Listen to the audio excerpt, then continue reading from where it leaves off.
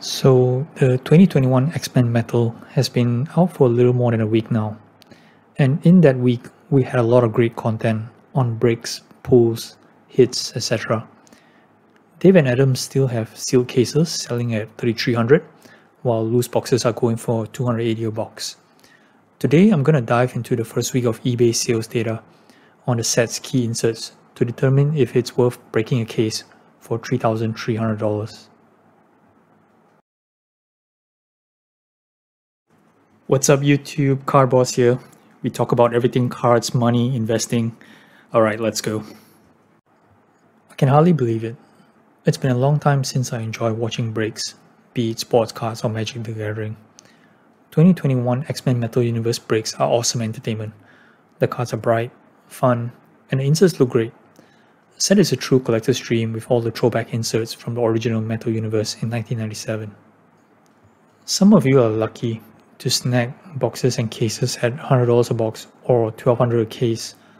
It's 3300 now for anyone new who wants to buy it. So I'm going to crunch some numbers on the first week of eBay sales for the key inserts between the 24th of June to the 27th of June. Few things to note here before we begin. First, data is extracted from eBay sold listings using 130point.com. Next, this only covers inserts and hence one-on-one sketches and parallels including the PMGs are all excluded. We'll talk a bit more on that later on. Sales are individual cards and excludes all lots here. And finally, I specifically removed the $1,000 sale for the Wolverine Palladium as I don't think the sale is legit. I could be wrong. So let's get to the numbers. For Arc Weld, there were 13 regular copies and 2 short printed ones sold for a total sales of $484. The blast furnace insert had 18 regular copies sold and one short print, which was the Deadpool that sold for $400. Total sales for this insert is at $900. Both Arc Weld and Blast Furnace odds were 1 in 48 packs for the regular and 1 in 576 packs for the short prints. That would translate to roughly 3 per case for the regular and 1 short print in every 4 cases. Planet Metal saw 11 sales transactions across its variants, i.e. the aluminum, copper, and platinum, for a total sales of $638. Uh, it's found in 1 in 72 packs, or basically 2 copies per case. Palladium, which is the most common insert, uh, has an average pull of 1 per box. So without earlier mentioned Wolverine, a total of 74 cards was sold in the last few days, and sales totaling $1,806. Then came the ultra thick geodes. Geodes had three pull odds, the regular one at 1 per 96 packs or 1 per case, the short print at 1 per 360 packs, and the super short print at 1 per 1440 packs. A total of 21 copies of Geodes were sold, which was surprising given its tougher pull rate compared to Arc Weld and Blast Furnace. Total sales was $2,517, mainly boosted by the Magneto Super Short Print, which was sold for $800. There was a lucky buyer who snagged a Storm Super Short Print for $150 as well. There was only one solo transaction for the Platinum Portraits, a Sabretooth for $300. I would have expected more, but I guess the asking price is a bit too high for some buyers, given how vanilla the insert look in contrast to the bright Arc Welds or the Blast Furnace. And finally, there is Purely Periodic. There are no known odds published for this insert, so I'm just going to go on a basis of 1 in 144 packs or 1 per case.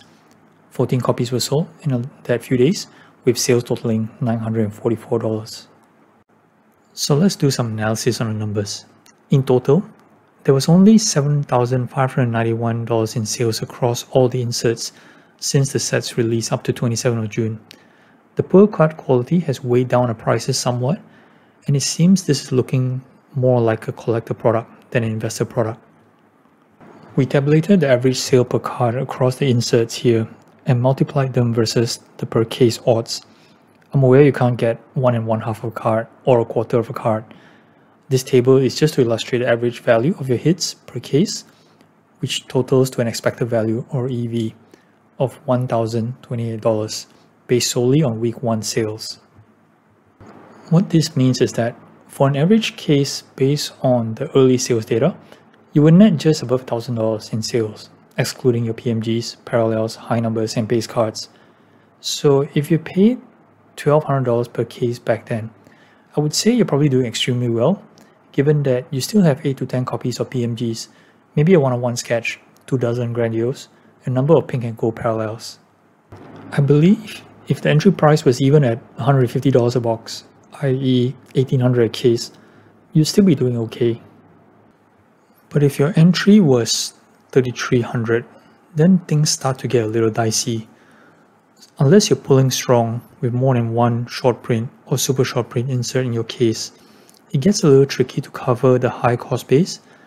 The non-main character PMGs are barely $50 each, so if your aim is to make money off this product through breaking, at $3,300 per case should be last of your options. $1,000 EV per case is just based on a small sample size, and numbers may shift up or down depending on what sort of hits get sold in the coming weeks. The toughest hit, i.e. the super short print Wolverine Geodes, is currently on auction, and that certainly would raise the average. Hence, I wouldn't dismiss immediately about investing in this product. Holding sealed wax might be a possible play here until we get full sales data on all the shop printer inserts to get a clearer average on the EV per case. Once again, keep watching this space and subscribe to this channel so you'll know when I do future updates on this set. So if you guys like this video and found it very useful, do like and subscribe for more content in the future. I will be putting up similar videos, so do watch out for that. Thanks and have a great day.